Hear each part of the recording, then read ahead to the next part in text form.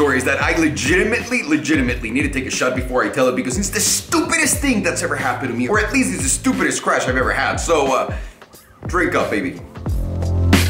So, uh, everything starts, I, I want to say 2003, something like that. I'm 17 years old. It's the morning. It's a fucking incredible day. I feel optimistic. I'm gonna have the best day of my life. And do you guys know why?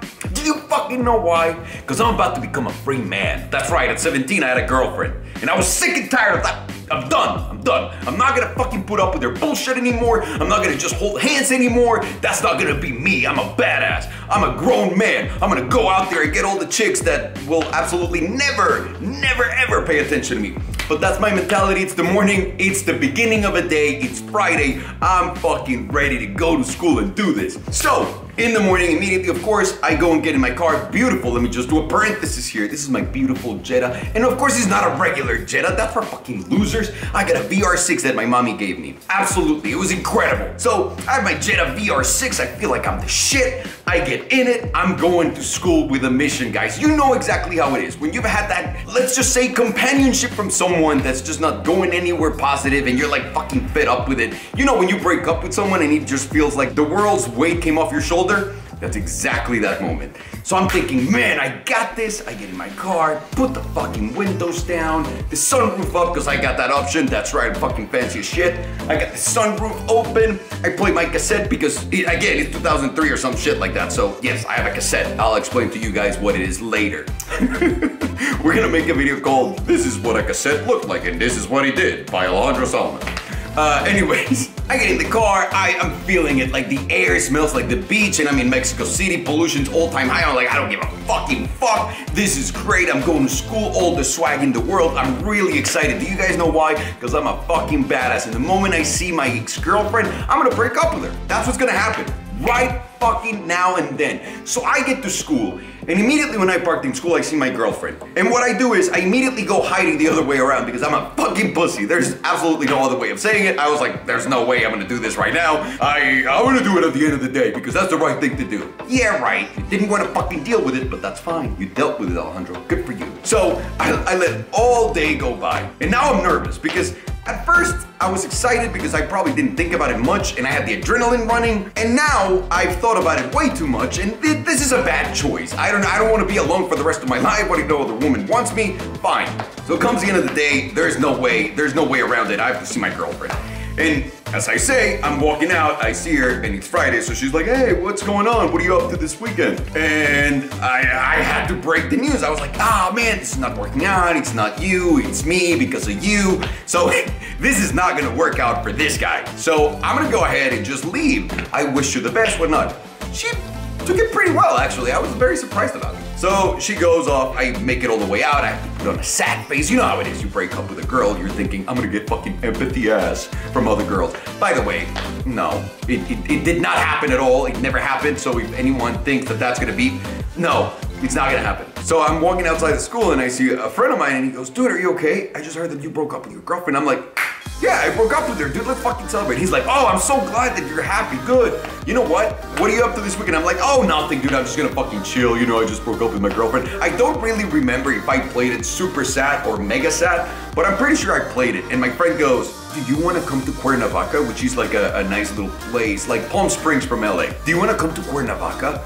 I, I, you know, I have my house there and we can go chill. I'm like, oh my God, my weekend just got fucking better. You mean right now that I just broke up with my girlfriend.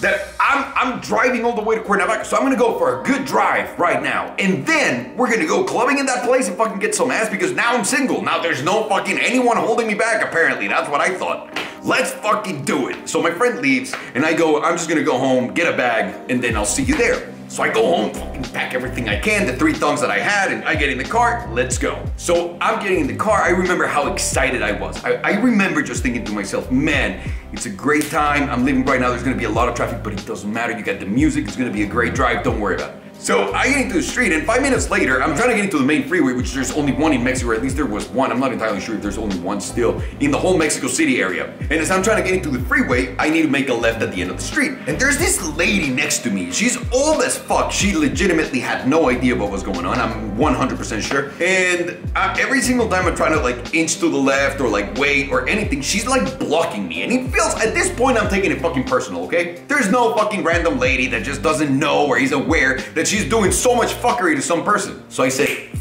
Brilliant idea, Alejandro. You ready? You ready? You're gonna impress the old lady. And I swear to God, guys, this is not something that I can explain right now. I still wonder why the fuck I did what I did. So I go, I'm gonna show that lady what the fuck is up. So you know, I got, I'm driving my car, so traction control off. No question about it. That's that's happening, baby. And I'm thinking, I'm gonna accelerate from standstill, right? I'm gonna get to the light and then gonna make a sharp left turn. When I make the sharp left turn, I'm gonna slide the car and show that woman who the fuck is the boss. That, that was a real plan. And I, I accelerate with everything I got. She's on the left lane blocking me, and I go, and I throw my fucking car. Not only that, I, I throw my steering wheel into the left, I put the e-brake on, and the car just starts going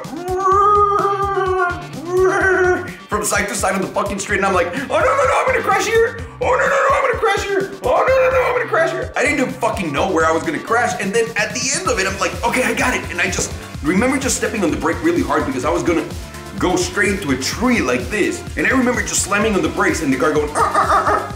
and it didn't hit the fucking tree, but I had my hands up like this, and I remember just out of nowhere, the airbags come out and they fucking destroy my arms and hit me in the face. And I was, it was such a weird thing because I, I was 100% certain I didn't crash. I didn't understand what was going on. Why was there all this white dust everywhere? I'm pretty sure my dick hasn't been touched right now. Like, I don't understand what's going on. I'm looking around everywhere and it's like slow motion, like in the movies when you're like, oh, yeah, like that. And I'm looking around, I see all the people running from the other side because they saw me. And I'm like, oh, fuck. So I get out of the car. I'm still trying to understand what happened because it makes no sense for my POV that the airbags came out. So I get out of the car and I start walking around. And as I'm walking around, I notice, and I swear to God, that there's a fucking tree branch coming out of the fucking tree like this, pointing out at me. And that went into my front bumper, kind of like that, and he touched the fucking airbag sensor. Like literally was right there. He like boop, nailed it. So all the fucking airbags come out. They destroy my skin right here. They fucked up my nose more than it already is. I'm probably I'm, I'm gonna sue myself for doing that my past self because my poor nose it was so much prettier than I was. So I, I remember like noticing that and going like fuck. And then I turn and I see all the people in slow motion running towards me like, oh, are you okay? I'm like, this is the last thing I need. And then all of a sudden, I start feeling like water, like cold water coming out of my hands. I'm like, what the fuck is going on? All of this, all of my skin was completely deleted from my hand, from my arm. It was just blood gushing out of my arms. And I was like, what the fuck? And I got really pissed off really pissed off. So I fucking kicked the car. The moment, and I shit you not, I kicked the car, my nose starts bleeding. My nose never bleeds. I've gotten punched like straight up, like bam, in the nose, doesn't bleed. That time, it fucking bled like it was a river, just gushing out. I'm like, great. Turn around, and out of like all of the people that are coming, I see a cop. I see two cops coming and I'm like, oh no! Back in the day in Mexico, if you got into a car crash, the cop would say like, oh man, you destroyed something, so you're gonna have to pay and we're gonna charge you whatever. And then they, they just wanted a bribe. So I was like, oh no, I don't have any fucking cash on me. What the fuck am I gonna do? Can't move my car. The cop comes over and he goes, bro, I saw what happened to you. I'm so sorry. Uh, it's nothing. So let's just move the car and let's just park you right here on the side. So him and his partner helped me. And until today, I swear to God, I have the most respect and I fucking, I love you guys. I don't remember you, but thank you so much for saving me. They guys, backed up the car and helped me push it into a street and we, then they left and I was like, thank you so much. So I'm sitting there and I'm thinking, fuck, everything has gone wrong. And now this is when everything starts to turn, right? Like I broke up with my girlfriend. I got into a car crash. I'm not going to Cuernavaca anymore. I'm not gonna get any cheap ass anymore. Like this is not gonna happen. What am I gonna do? And all of a sudden, my fucking phone rings. I'm like, yep, it's my boy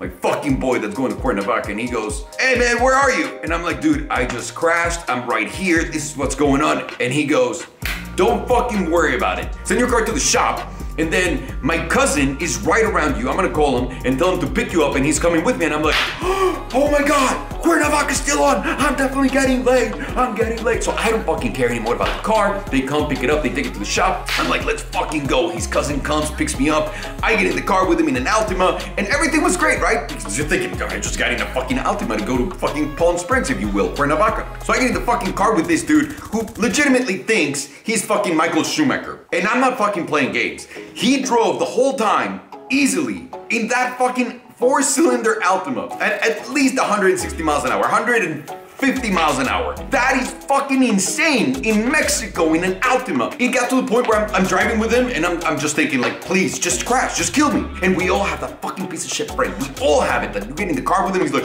I'm gonna drive fine. And he doesn't. And it's him. And he was horrible.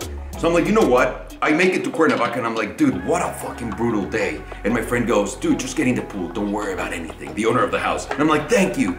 So I get all my fucking clothes off and I go and jump into the pool. And dude, my fucking arms were on fire because of the chlorine touching my all my scars and all the scar tissue and like the stuff that was bleeding. It was fucking disgusting and horrible. And that really was my weekend. That was the best day ever, and that turned into my weekend into a piece of shit weekend. And now I did not score any. And no, no, no, not a single woman talked to me. So there you go.